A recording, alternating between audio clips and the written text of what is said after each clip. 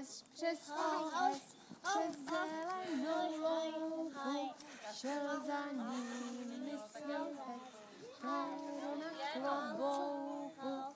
Pejsku náš, co děláš, že jsi tak vesel stále, řekl bych vám, nevím sám, hoj a skákal dále. A teď kon.